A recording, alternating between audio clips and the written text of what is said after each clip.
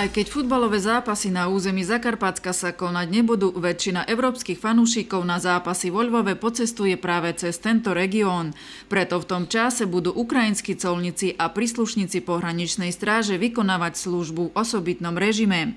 Predpokladá sa, že najväčší príliv turistov bude na hraničnom priechode Čop-Zahoň, preto tento objekt bol prestavaný a modernizovaný.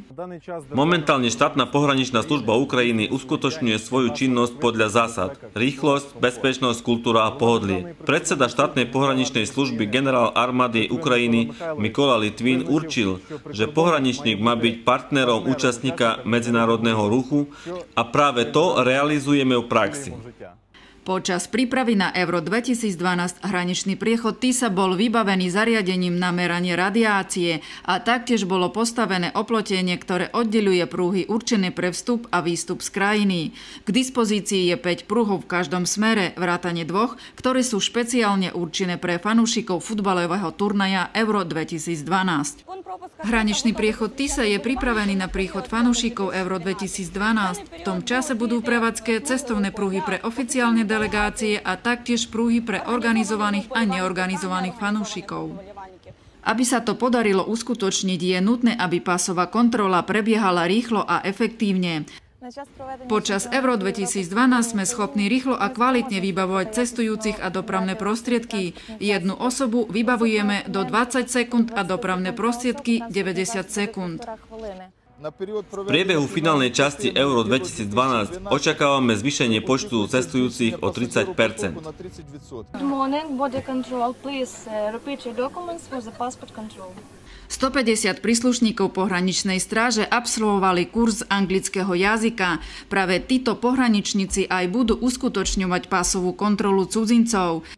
V priebehu finálnej časti Euro 2012 na hraničnom priechode TISA budú fungovať poradenské strediska pre pomoc cestujúcim, kde bude pracovať dôstojník s dobrou znalosťou cudzieho jazyka a dvaja inšpektori pohraničnej služby, ktorí budú riešiť rôzne sporné otázky. V rámci prípravy na majstrovstva Európy vo futbale Euro 2012 všetci príslušníci pohraničnej stráže dostali novú uniformu podľa európskeho štandardu.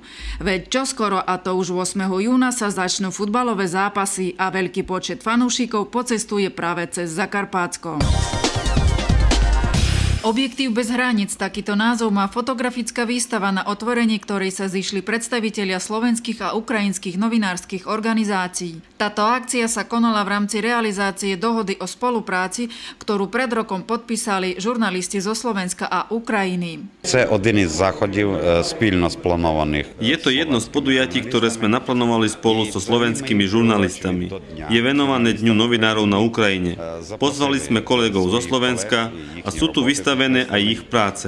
Bude to stála expozícia. Autory a fotografie sa budú meniť. Túto výstavu zorganizovali Novinárske centrum Zakarpatia a Prešovskí novinári.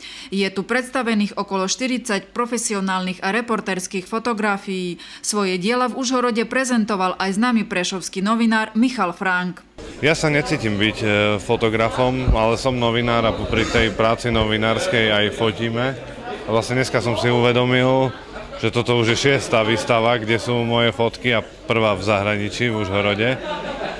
Chcem poďakovať kolegom e, e, novinárov zo Zakarpatia, aj kolegovi Petrovi Zakuťanskému, fotografovi, ktorý sa dohodol, že tu dá svoje fotky, tu má, tu má tiež a presvedčil aj mňa, že aj, že aj ja, aby som poslal fotky, tak e, sa teším z toho.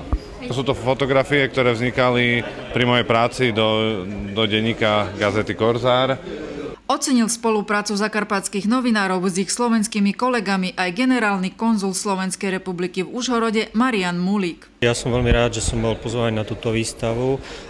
Je tu vidieť vlastne veľmi dobrá spolupráca medzi e, zakarpatskými novinármi a slovenskými novinármi, výsledkom čoho je táto prvá výstava. Zahajenie výstavy spríjemnili aj piesni v podaní užhorodského speváka Michaila Hreceka. Schubila я належу ще тобі, хоч сам від себе